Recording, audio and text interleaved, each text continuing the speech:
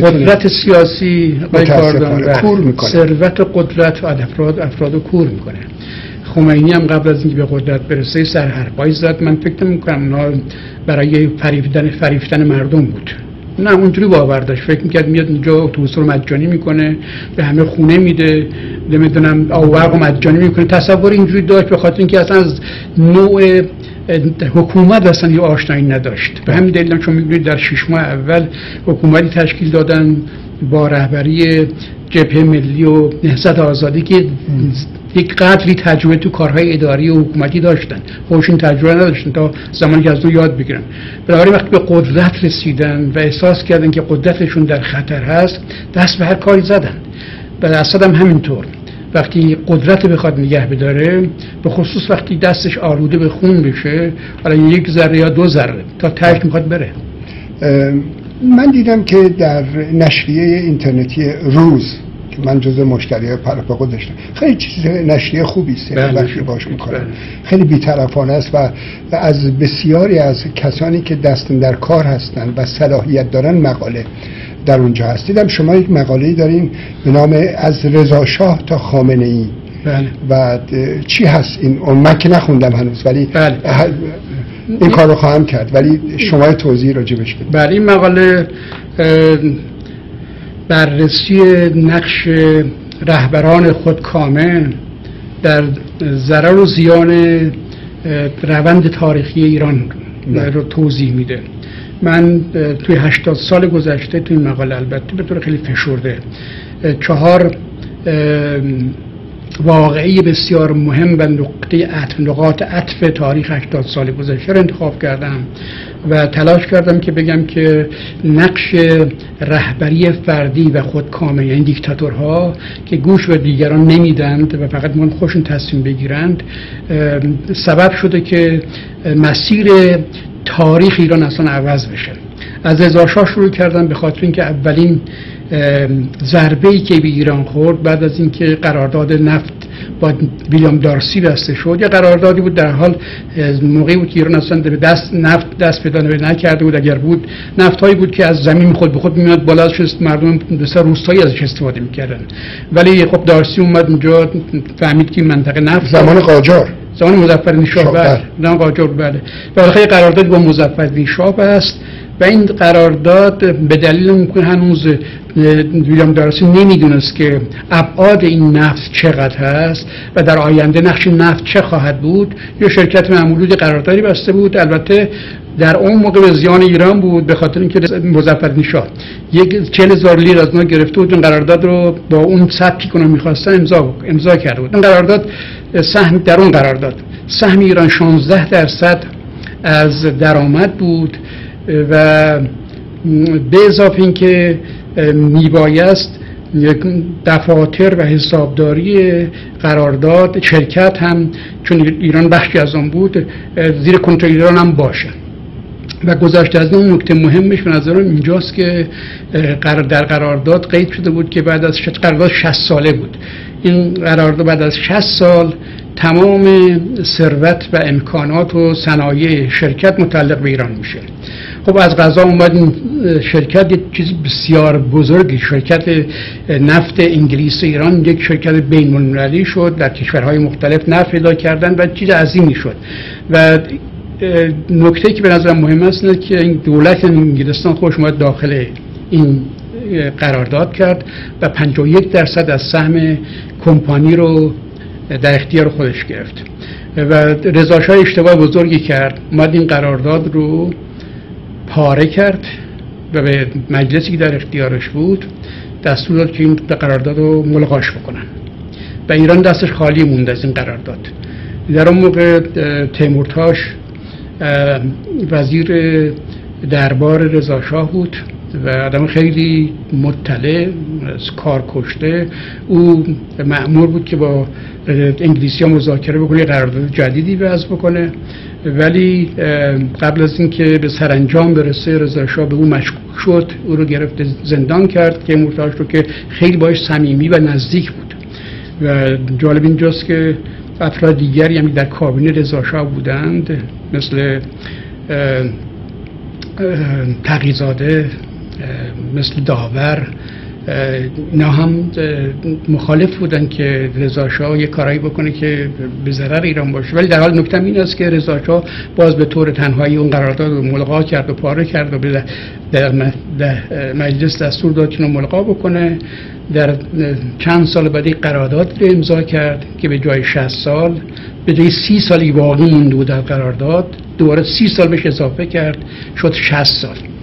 و جالب این نکته جالب که تقیزاده توی خاطراتش ازش اسم می‌بره این که رضا خودش با تمدید قرارداد به شدت مخالف بود چون تیمورتاش وقتی مذاکره می‌کرد با انگلیسی ها او خودش معتقد بود ما قرارداد رو اگر به انگلیسی ها به ما به جای 16 درصد 25 درصد بدند ولی همون قراردادی که در پایان به ما بله. منتقل بشه همه چی ما می‌تونیم قرارداد تمدید بکنیم تبدیل بکنیم به 60 سال دوباره از 30 سال به 60 سال.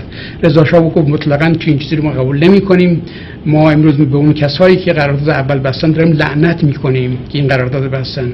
حالا شما می‌تونید از بعد به ما لعنت بفرستن. ولی متاسفانه باز تنهایی در مذاکرات و نشستی که با کتمن رئیس کمپانی داشت قرارداد امضا کرد قرارداد جدید امضا کرد که این قرارداد جدید مدت ادامه پیدا کرد امتیاز کوچیکی به ایران دادند ولی اون چیزی که به نظر من بسیار تعیین کننده بود و از دست رفت یکی اینکه اینکه میگه مسیر تاریخ عوض کرد یکی اینکه وقتی قرارداد تعداد مدتش طولانی شد مسئله نهضت ملی کردن نفت پیش آمد اگر اون کار نکرده بود و زمانی که مصدق نخست وزیر بود فقط ده سال یازده سال مونده بود که این قرارداد دارسی تموم بشه. به احتیاج نبود که ملی بشه. مسئله حل, حل می‌شد. و در پایان اون ده سال هم تمام ثروت طبق قرارداد تمام ثروت بی پی متعلق به ایران می‌شد و ثروت عظیمی بود. اولا اجازه بدید یه نکته بگم که به حال این نکته جالبی رو پیدا کرد من حالا نمی‌خوام دار توضیح بدم فقط اشاره بکنم بماند برای بعد. سه تا مورد دیگه که جنگ ایران عراق هست که خمینی تنهایی تصمیم گرفته و سومین نکته این است که انرژی هسته ای است که خامنه تنهایی تصمیم گرفته این رو پیش ببره. هر کم از نگاه می‌کنه این مسیر تاریخی را عوض کرده. و چهارمیش همین الان هست که خامنه پاچ کشیده کفش و روحانی داره دیکته می‌کنه که با آمریکا رابطه برقرار نکنیم. بله. یعنی دلش نمی‌خواد با تمدن غرب اصولا با تمدن میترسه میترسه. نکنه امریکایی در ایران پاشون باز بشه و ایران هم خب گرایش دارن. ایرانی گرایش دارن به رابطه عادی با آمریکا. بله. و میترسه که نکنین ترکیب حضور اقتصادی و فرهنگی و سیاسی آمریکا در ایران و این تمایل مردم یا قدرت بشه که دیگه نتونه این دیکتاتوری کنون رو ادامه بده. اجازه این نکته من بگم که این نکته جالبی است که شما راجع به قراردادی نفت در زمان رضا شاه فرمودید ولی در بسیاری از زمینه ها رضا شاه خدمات بسیار به ایران کرد. ببین همین این باعث شد که بعد ببین همین این باعث شد که نه این یکی دو تا کار دیگه باعث شد که تمام کارهای مثبتی که رضا شاه کرده بود روش سایه بندازه. بله. البته خب رضا شاه به دلیل اینکه رفت سراغ دیکتاتوری و یه جای خوبی شروع کرده بود بله. مصدق باش همکاری کرد یعنی زمانی بود که مصدق یکی از پنج نفری بود که هنوز احمدشاه البته شاه بود بله. اونم سردار سپه بود رضا شاه و اعلام کرده بود که من نمی‌تونم یه کسی بالا سرم هست کارما انجام بدم و در با توجه به اینکه وضعیت مملکت خیلی خراب بود و احتیاج به یک نیروی قدرتمند یک فرمانده نظامی داشتند جامعه داشت این قرار کرد گذاشت بومهن رضا شاه. و جامعه احساس خلع کرد. احمد شام خارج بود اون موقع داشت خوشگذرانی می‌کرد. و یک گروه پنج نفره از جون مصدق رفتن در بومهن از اون خواهش کردن که برگرده بیاد. ما تلاش می‌کنیم که اون بالا سریه نتونه تو دستور ماجرا خیلی به نظر مفصلی است که در یه جلسات دیگری باید بینا توضیح بعد بعد خود ببینید. شما درست است که او خدمات زیادی هم کرد. بله بعد تو ترازو گذاشت و ببینیم که ولی یه نکته هم برای من جالبه که همیشه ما الان بعد از گذشت سالها به قضاوت می نشینیم چون در اون موقعیت خاص نیست نبودیم می‌دونید که در اون موقعیت خاص واقعا آدم نمی‌دونه که بر حال حسن نیت داشته رضا شاه بله. و ما در طول تاریخ می‌بینیم که وطنش رو خیلی دوست داشته و دوست داشته کشور غربی بشه بله. و این کارا رو بکنه بنابراین در اون زمان نبودیم که واقعا منتها نکته ظریفی رو که شما درش هستید این یک نفره تصمیم گرفتن و یک نفره بودن اینه که ضرر می‌زنه و همینطور که در مورد جنگ ایران و عراق بله. یادمون باشه که یک زمانی حتی کشورهای عربی حاضر بودن خسارت بسیار بله. بالا به ایران که ایران تمام خاکش رو به دست آورده بود. بله خرمشهر آزاد شده بود. بهترین فرصت من توی مقاله بین نشاره کردم. بهترین فرصتی بود برای ایران که صلح رو بپذیره آبرومندانه و سرافراز قرامت هم بگیره و صدام هم مثلا سر جا خودش بچینه. ولی این کار نکرده خمینی خمینی اصرار می‌کرد که می‌خواد انقلاب صادر بکنه. بله. دوچار توهم عجیب قدرت بله. دیگه. دوچار توهم شده بود که من شاه به این گندگی رو خیلی ساده انداختم. دیگه صدام کاری نداره که. بله. صدام اونجا اکثریت مردم عراق شیعه هستن. وقتی من فرمان بدم که قیام بکنید علیه صدام قیام خواهند کرد. و خب عملا مردم عراقی بودن که بله. ایرانی هستن اون عراقی بودن. در همه جای دنیا که آمریکایی هستن انگلیسی هستن نمیگن مسیح هست مسلمون هست اونم هستن. بله. ولی در وهله اولی که متعلق به یک ملیت هست و از اون ملیتش اون سرزنیش می‌خواد دفاع بکنه. این خمینی نمی‌فهمید. و به, این به اینجا افتاد. و بسیار جالبه. ببینید من بین عکسایی که پیدا کردم یک عکس پیدا کردم خیلی جالبه. این عکس خواهش می‌کنم نشون بدید. آقای ظریف و کمال خرازی دارن با صدام حسین دست میدن. این همون آقای ظریفه. نه اون ظریف نیست. چرا؟ آقای ظریفه و با این در سال 2000 این که خرازی هست. جلو. اونم من مطمئن نیستم. بده اون ظریف نمی‌تونه باشه. ظریف در این سن ساله. اون موقع ظریف باید مثلا خیلی جوانتر از این باشه. الان شما چهره ظریف امروز نگاه بکنید اینه. ولی این عکس مال 20 سال قبل آخه. بله مال میگه سال 2000 یعنی مال 15 سال پیش. 15 سال قبل. بله. چهره زری 15 سال قبل این نباید بشه. من به طور قاطع نمی‌تونم بگم هست یا نیست. ولی حتی عجیب غریب هم نیست البته. روابط دیپلماتیک بعد از اون به وجود اومد. رفتن بله. ملاقات کردن. بله. ملاقات کردن با صدام. و تلاش کرد تلاش های انجام شده که به توافقای برسن همون موقع هم موقع این اتفاقات افتاده حالا ممکنه ظریف نباشه کسی که این کارا رو کرده باشه ولی خرازی خیلی شبیه خودشه به حال بله. این روزا این برای بچه‌هایی که جلو این جعبه جادو میشینن گاهی اوقات کارایی می‌کنن کارستان نه کار ایرانی رفتن بله هستن بله، بله. نه می‌خوام از نظر ترکیب میگم که بله. با همدیگه یه کارایی بکنن بله. کارای بسیار جالب بله. حالا اجازه بدیم برای اینکه تنوعی در برنامه بشه این می‌دونید که ماه محرمه و سینه زنی و اینها فراوان هست در ایران. بله. و سینه زنی و زنجیر زنی و اینها. جوان ها این روزا دیگه اونطور که مثل قدیم سینه نمی‌زنن که خودشون ناراحت بکنن. و اجازه بدید نگاه کوتاهی بکنیم به یک سینه زنی ویژه در ایران. ببینید که باهاش میشه حتی مختصر تکان تکانی هم خورد رقصی هم کرد باش. خواهش می‌کنم اتاق کنترل پخشش کنیم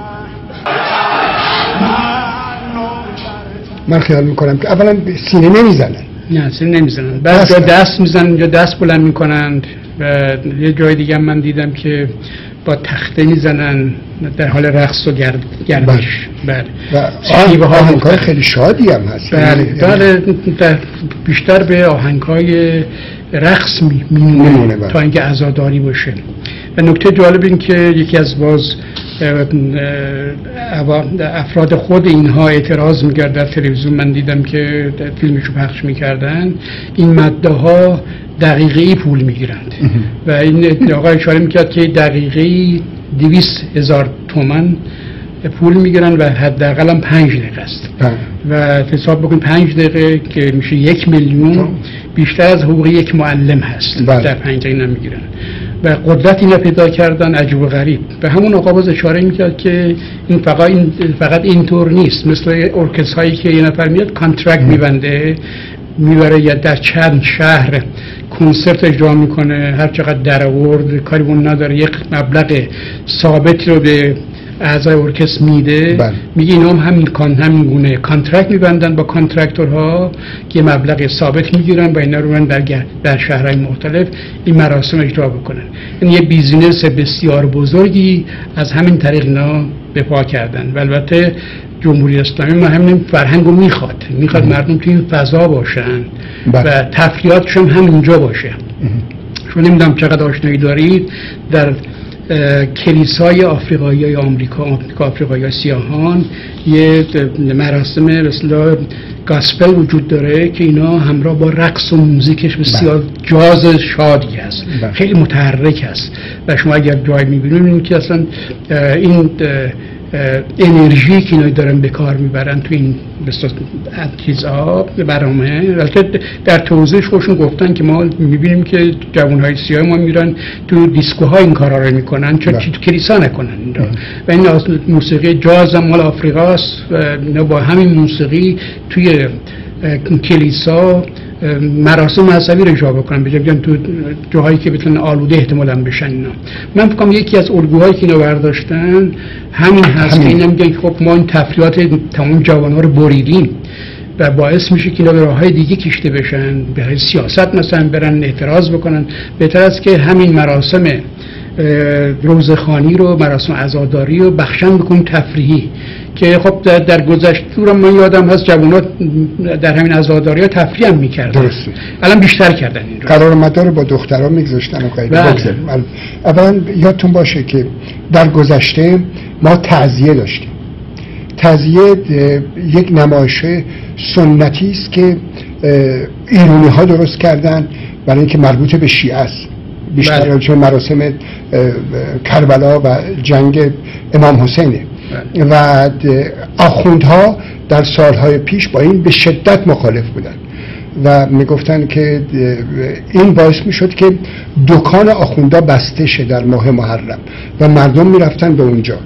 کم کم تعذیه این سر این رو نداشت. تعذیه یک مراسم و قراردادهای ویژه خودشو داشت. من خودم خیلی کار کردم روی تعذیه برای که نمایش سنتی ایرانه. اولا تمام کسانی که در تعذیه شرکت می‌کنن مثل هر ریاهی یا امام حسین یا حضرت عباس اینا آواز می‌خونن. بله. فقط یک نفر آواز نمی‌خونه دکلمه می‌کنه اون شمره. بله. برای اینکه میاد و فلان. بعد یک نکته جالب خیلی اینه که خیلی شبیه به کارهای برشته. برای اینکه بازیگر هم خودشه هم بازیگره. برای اینکه میگن به احتمال اینکه مثلا که توی شمر بازی می‌کنه مثلا مقذوب مردم نشه. مثلا در یک جا میگه کمر بستن به قتل زاده زهرا خدا لعنت کند شمر ستمکار لعین را. خودش خودش خودش رو و بسیار زیباست. یعنی اگر به فرم نمایش نمی‌کنه. و لباس ها و آواز هایی که می‌خونن در مثلا آوازی که امام حسین می‌خونه در دستگاه ماهوره یا لباس هایی که تنشونه مثلا هر ریاهی وقتی که میاد سفید پوشیده بله. برای که می‌دونه که بیعت می‌کنه بله. بله. که شمر قرمز میپوشه هر اومده بود امام حسین رو بکشه بله. نمی‌خوام وارد زیاد باشم بله. عقل یه چیز جالبی است که خب شما در یه برنامه‌ای که چون بله. کار کردیم این زمینه بله. خوبه برای اطلاعات مردم به خصوص نسل جدید از این اطلاع زیاد نداره کاملا. بله. عقل می‌گوید مرو در کربلا. عشق می‌گوید برو ظالم بلا. بله. جنگ با فرزند زهرا مشکل است. کار هر دیوانه و هر جاهل است. خودش میگه. بله. حال این سنت هم که می‌تونست در کار نمایشگاه باشه تبدیل به همین کارا شده که دارین ملاحظه می‌کنید. درود بر شما آقای کازان. همینطور آقای قلمداری. اولا خواستم حالا به صورت تنز منظورم نیست ولی سکولاریزم هیچ وقت در تلویزیون ها انجام نخواهد شد. در جامعه ممکنه پیاده بشه. برای اکثر برنامه سازا و مهموناشون بهترین وقت و بیشترین وقت رو به خودشون میدن. بعد مسائلی مطرح میشه که باعث میشه که یه اهانتی رو اون عقیده مردم باشه چه مذهبی چه سیاسی.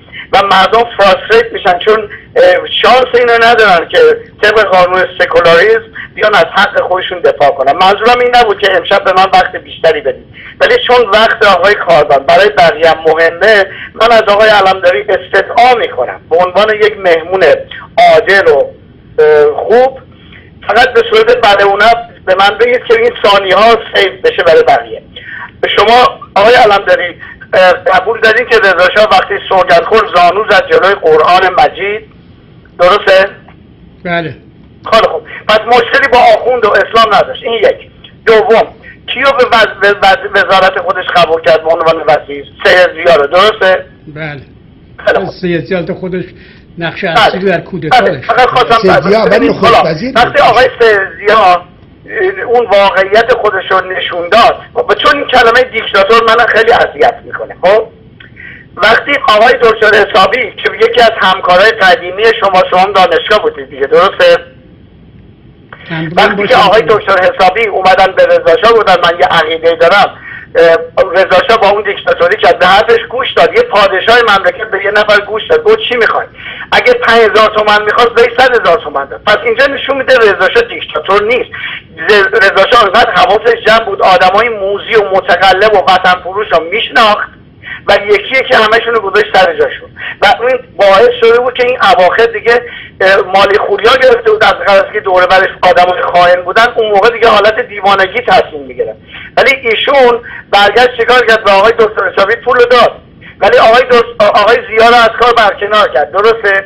علت این که رضا یک نفر رو انداخت تو تنور که این کار بسیار غیر انسانیه. ولی چرا این کار کرد؟ موقعیت مملکت در اون زمانی که جنگ و قحطی بود یه مش آدم های وطن فروش مالدوست حاضر بودن ملت ایران گشتگی بکشن ولی بگن ما غذا نداریم. اجازه بدین قربون اجازه بدین برای اینکه به وقت فقط آقای کاردان یه لحظه فقط به من اجازه بدین. بفرمایید شما به خاطر اطلاعات علمی که دارین در مورد اقتصاد حرفتون اگر بخوایم معادلتون رو حل کنین معادلتون درسته.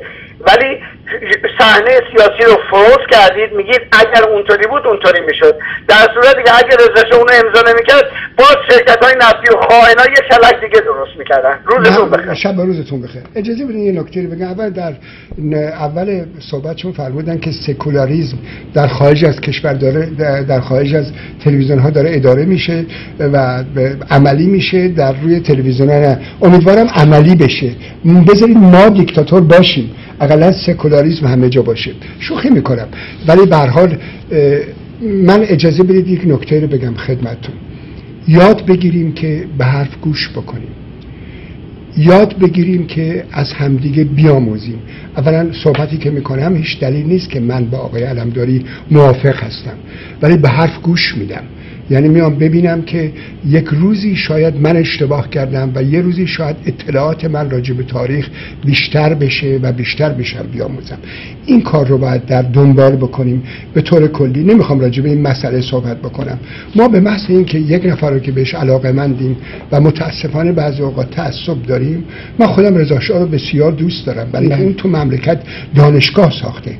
ولی همیشه تو ترازو باید بگذاریم راهن ساخته راهن ساخته دانشگاهی ساخته شناسنامه درست کرده. اوکی بله. به ده ها موارد دیگری هست. ولی ربط بین مثلا نداره که او به تنهایی تصمیم گرفته قرارداد نفت می‌خوان باطل بکنه اونم اون کار کرده کارم کرده. کاملا درست. بله. سه از وزیرای برجسته رضا شاه تقیزاده فروغی و داور که الان آدم های برجسته هستند برای اون دوره بکنم جز نخبگاه ربی اول جامعه ایران بودن.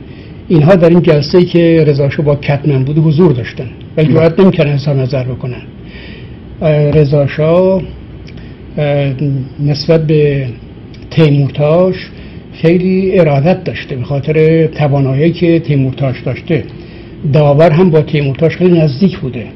زمانی که تیمورتاش رو زندانی کرده بودش به جرم یا به اتهام این که در حال جاسوسی کرده و هیچ وقت هم اینا روشن نشده او رو به دست کسی داد در زندان پزشک احمدی و او کشت بله. و داور تلاش کرد که ازاشا رو قانع بکنه که قبل از اینکه تیمورتاش رو بکشند قانع بکنه که او را آزاد بکنه رضا بهش حمله کرد که اگر تو دخالت بکنی به همون سرنوشت دچار میشه اوکی. این نتیجه دیکتاتوری در این حال یه دیکتاتور می‌تونه آدم به نظر من خیرخواه بر مملکتش باشه بیاد اقدامات مثبتی بکنه. خیلی دیکتاتور مثلا پینوشه دیکتاتوری بوده. ولی بعد از اینکه کودتا کرده سه هزار نفرم کشته در یک دوره 15 ساله اقتصاد شیلی رو رونق بخشیده. در کره جنوبی باز همینطور. دیکتاتور نظامی مثل پاک اومده بود به قدرت رسیده بود. اولین گام های رشد کره جنوبی رو اون دیکتاتور برداشت دیکتاتور نظامی برداشته. دلیل نمیشه که یه نفر دیکتاتور باشه ولی خیرخواه نباشه نسبت به مملکت خودش رو اقداماتی نکنه که بله. جامعه نتونست استفاده بکنه. استالین آدم دیکتاتور بسیار بدی بود روز رده های بد بود. ولی اقدامات خیلی مثبت هم برای کشورش انجام داده. وقتی که استالین مرد بر مراسم خاک سپاری استالین 20 نفر کشته شدن بیشتر مردن. مثلا مراسم شما در مورد خمینی می‌بینیم که مردم به هم هجوم میارن وزیر دست پا میرن. مال مراسم استالین همین وضعیت بوده. و یک نکته ای که شاید بعد خود در در موردش صحبت بکنیم یک بره از زمان به قول آخونده یک زمان ویژه شاید برای اصلاحات احتیاجی به دیکتاتور هست. ممکنه نه پنج سال اول بر پنج سال اول حکومت رضاشاه لازم بود که یک قدرت یک فرماندهی نظامی بیاد اون به هم ریختگی جامعه رو جمع جور بکنه. درست. و تو میگم همون زمانی بود که آدمی مثل مصدق هم از اون حمایت می‌کرد. او هم با مصدق مشاوره می‌کرد. یه گروه پنج شش نفری بودن که رضا شاه به خونهشون دعوت می‌کردن. از جمله مصدق بود. که در اون گروه رضا شاه به حرف گوش می‌داد. ولی نکته جالب این است که اینا رو تاریخ هست انواع اقسام بفرمایید خواهش می‌کنم. سلام علیکم. می‌خواستم با آقای کار آقای کاردان برنامه آقای کاردان علمداری داره صحبت می‌کنه. من شما صداتون داره پخش میشه. بفرمایید. ما داریم صداتون رو میشنویم. بفرمایید خواهش سلام علیکم. درود بر شما آقای کاردان با آقای دکتر کاظم علمداد. می‌خواستم ببینم شما آقای علمداری شما زمانی که رضا شاه اومد مملکت ما رو گرفت اون موقعی بود که همه چی نه سواد بود تو مملکت نه هیچی. شما پدر من یک نظامیه در زمان رضا بود. وقتی که میشینه برای ما تعریف می‌کنه ما لذت می‌بریم از برنامه های رضا شاه. چطور شما میگین دیکتاتور؟ اگه دیکتاتور بود که مملکت ما نمی‌تونست دانشگاه باز کنه کارهای دیگه بکنی ما همه کتاب رو خوندیم آقای علم داد من همه کتاب رو از بحث ولی خواهش کنم یه خود منطق صحبت کن قربان شما خدا من من فکر می‌کنم که راجع به کارهایی رو که رضا شاه کرده با هم صحبت کردیم و اینها رو گفتیم. بله. یک نکته دیگری بود که آقای علمداری آمردن راجع بهش صحبت کردن. بفرمید خواهش می‌کنم. بفرمایید. سلام درود بر شما جناب آقای کاردان و آقای علمداری. آقای علمداری یه سال از شما دارم به عنوان یه جامعه شناس. در زمانی که انقلاب شروع شد کاملا متوجه شدیم که گروه های سیاسی بودن توده ها بودن مجاهدین بودن. یه مقداری هم در ایران بچه های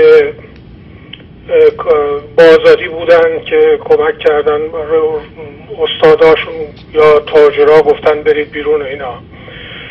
حالا سوال من اینه که چجوری ممکنه که یه اقلیت با اینکه تعداد اقلیت داره بشه اکثریت و اکثریت مردم ایران که در اون زمان شاید چل میلیون بوده سی و پنج من درست نمی‌دونم. حدودا بگیم چل میلیون. آیا واقعا چه چیزی باعث شد که این سی و شیش میلیون دیگه نشستن و بیرون نیومدن؟ و جالب اینجاست که در این مدت سی و هفت سال تمام سرکوبی ها به اکثریت شده. یعنی اکثریتی که اون زمان بوده تقریبا به حالت اقلیت در اومدن و تمام سرکوبی ها روی اینا هست. این چه سیاستی بوده و آیا گروه چپ توده ها حتی مجاهدین اینا کجا رفتن؟ آیا اینا فقط برنامهشون این بود که دست به یکی بکنن ایران رو نابود کنن بدن به آقای خمینی؟ اگر ممکنه یه توضیح در این مورد خیلی میشم. از, از تلویزیون گوش کنید لطفا. بله ببینید داستان انقلاب رو حالا پیش کشیدن دوستان به مختصری را هم صحبت بکنم. خمینی اقلیت کوچیکی نبود. داستان قدرت گرفتن خمینی بسته به یک شبکه بسیار گسترده حوزوی و مساجد و ارتباطاتی که با ذهنیت جامعه از طریق مذهب داشتن برقرار شد. اونا قبل از انقلاب حزب سیاسی نبودن ولی در زمان انقلاب به یک حزب بسیار گسترده عمیق و ایدولوژیک بدل شدن که قلبها و مغزهای مردم رو خوردند و تونستن از اون طریق مردم به طرف خودشون جلب بکنن.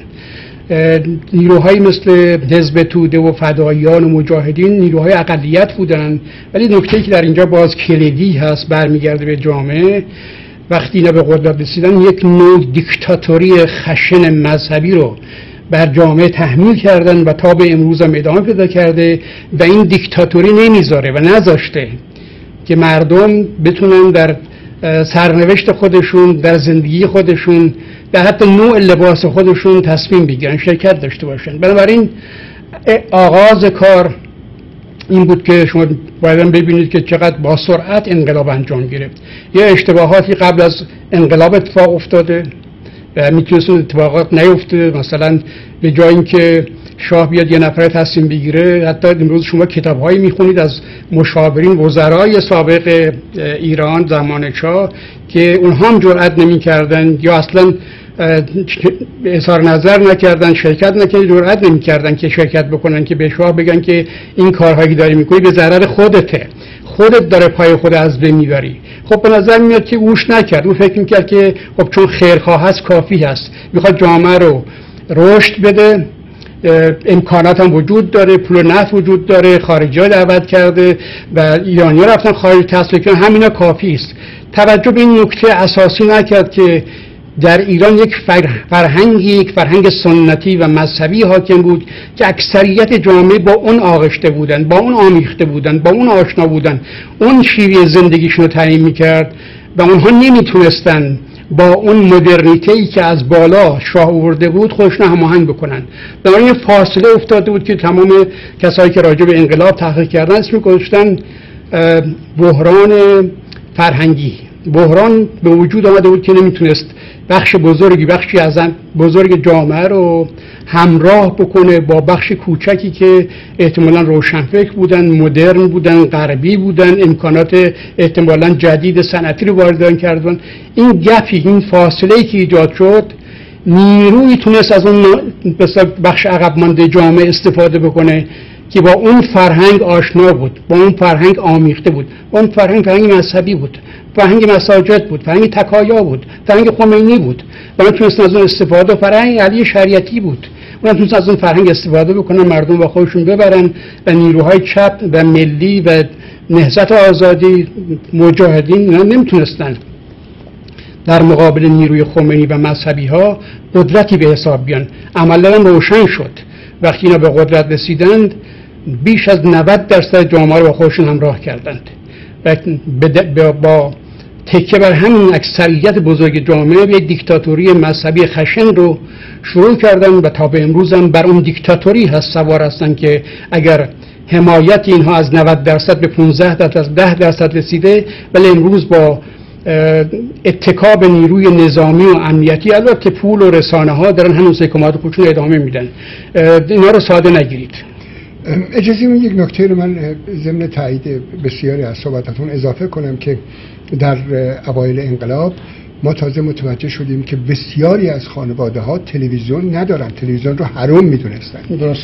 برای همین گاه اوقات که به من می‌رسن میگن ما در محله در خونه فلانی جمع می‌شدیم برای اینکه برنامه رو نگاه بکنیم. درست خب. و بعد از اینکه انقلاب شد گفتن نزدیک دیویست هزار تلویزیون اضافه شد برای فروش. برای اینکه فکر کردن حالا دیگه حلاله نگاه کردن. در صورتی که هیچ خود ما که برنامه ساز بودیم هیچ چیز غیر اجتماعی یا مکر دیگری چیز نمی کنیم و این بوده. خطوط اون همه اشغاله ولی اجازه بدید که یک نکته رو من خدمتون عرض بکنم. امروز در در کانادا انتخابات بوده. خب؟ و در این انتخابات چندین کاندید ایرانی وجود داشته. الان به من خبر دادن آقای درمانی عزیز که آقای احسان ببخشید. بله آقای احسان نیست انتخاب شدن و همینطور آقای مجید جوهری بله امیدوارم درست برای که دارن نوشتن نیز رای آوردن. و همینطور داره ادامه داره و بیشتر از همه مثل اینکه شانس برای آقای علی احساسی است که از ایرانیان بسیار خوب موفق هستند. تشکر می‌کنم از آقای درمانی عزیز بنیانگذار این تلویزیون و سرمایه‌گذار این تلویزیون که همیشه محبت داشتن در کانادا هستن و برای من مرتب میفرستن که ایرانی ها دارن دونه دونه موفق میشن و باز هم خبرشون هستیم. تشکر از ایشون. بله. ایشون هنوز قطعی نیست ولی شانس بسیار بزرگی دارن که چون این عکس قبلا تهیه کرده بودیم نشون دادن. ایشون هم ایشون آقای علی احساسی بودن که نماینده پارلمان کاندید بودن و شانس بسیار دارن. انتخابات هنوز تمام نشده. بله. یعنی 90 درصد امکان داره که ایشون هم برن به پارلمان کانادا. و ایشون علاوه بر این جزء حقوق بشر و راجب ایران بسیار فعالیت کردن در موقع جنبش سبز بسیار فعال بودن از دوستان آقای دورمانی هم هستن. امیدوارم که خبرها رو مرتب بشنویم و همینطور. اجازه فرمایید با خطوط صحبت بکنیم. بفرمایید خواهش می‌کنم. بفرمایید. بفرمایید خواهش می‌کنم. الو؟ بفرمایید. ما می‌تونیم بریم رو ایر بله شما الان رو ایر هستیم. درود بر شما. درود بر شما. من سوال ندارم ولی دو تا اعتراض دارم. یکی دو تا اعتراضم بر اینه چرا اینایی که میارشون بعضیاشون جمهوری خواه هستن و نمی‌دونم طرفدار دیکتاتوری خودشون هستن. همیشه بدگویی از رضاشاه می‌کنن بالاخره نیش خودشون رو می‌زنن.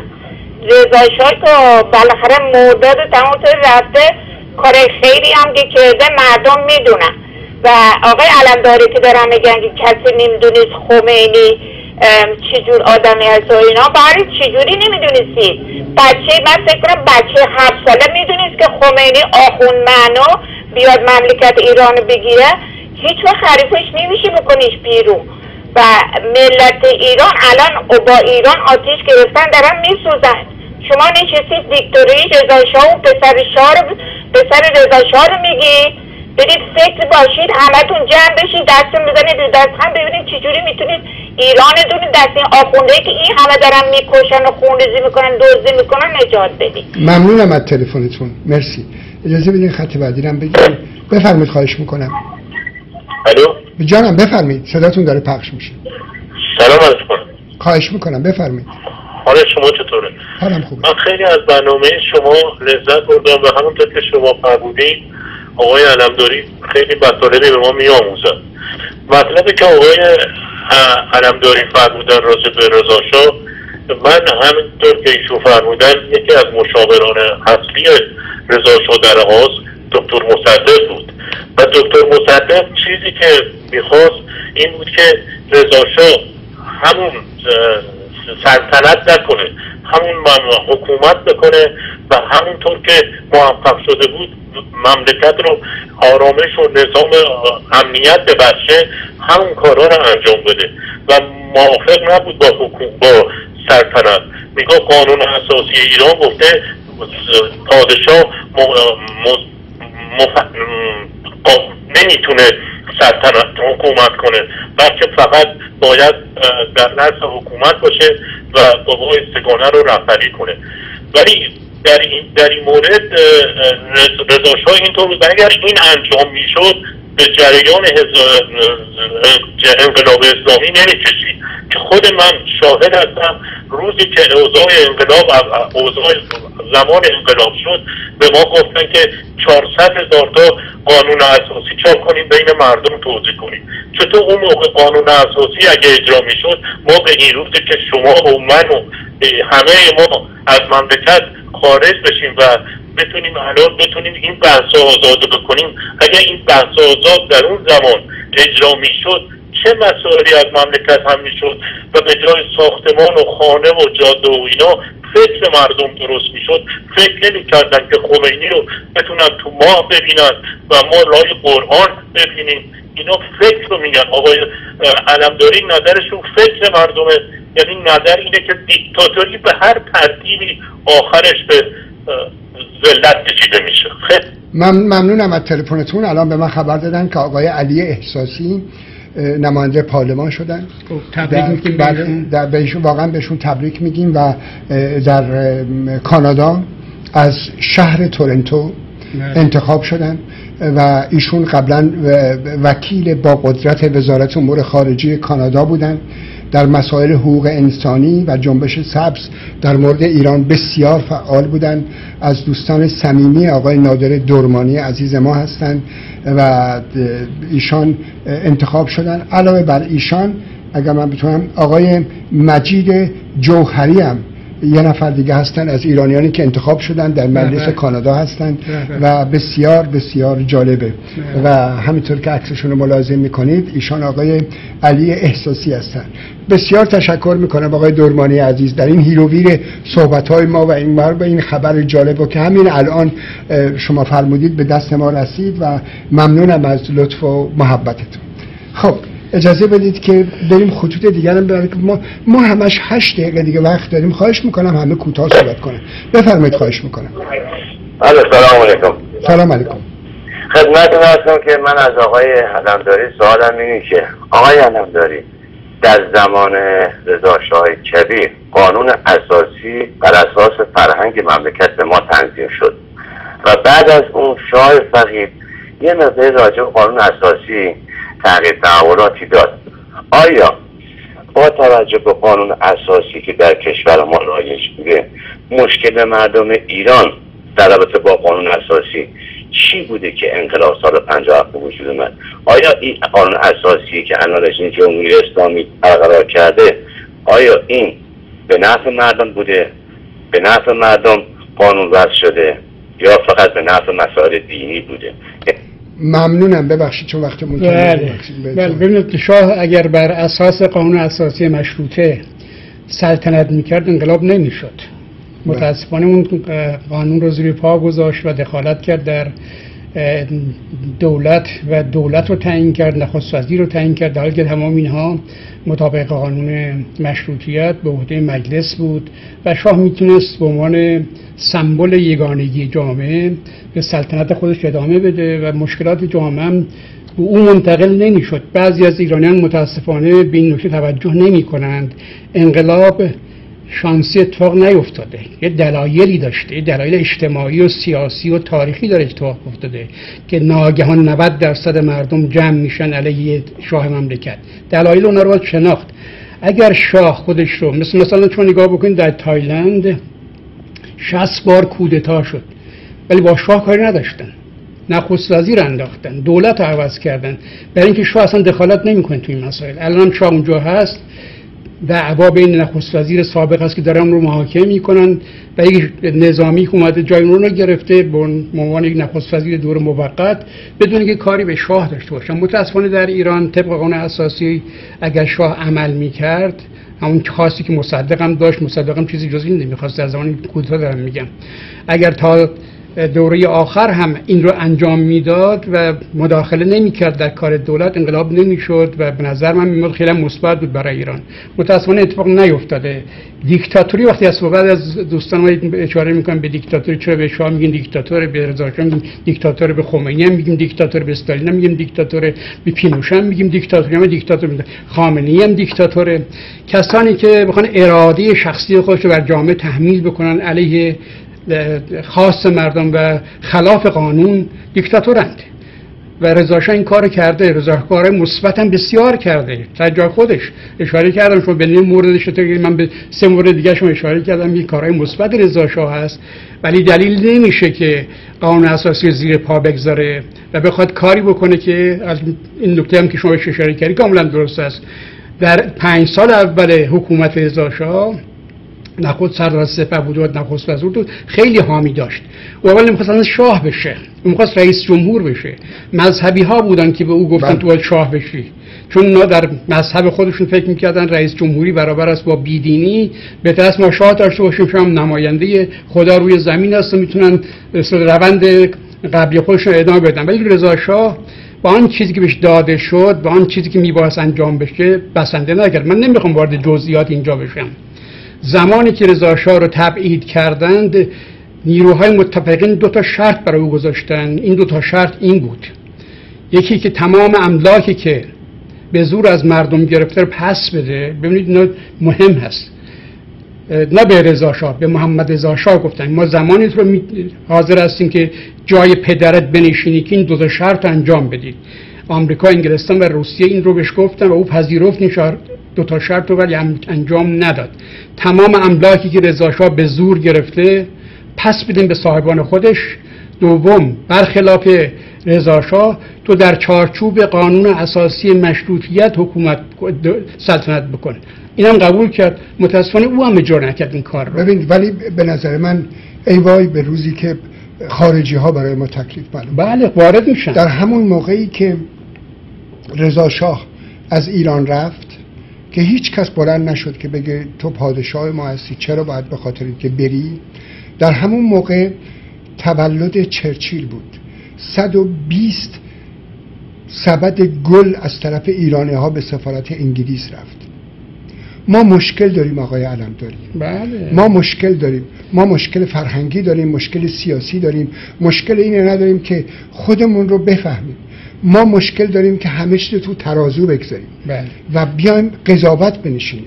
ما می‌دونیم که اگر رضاشاه این خدمات رو نکرده بود شاید مملکت ما پنجاه سال عقب بود.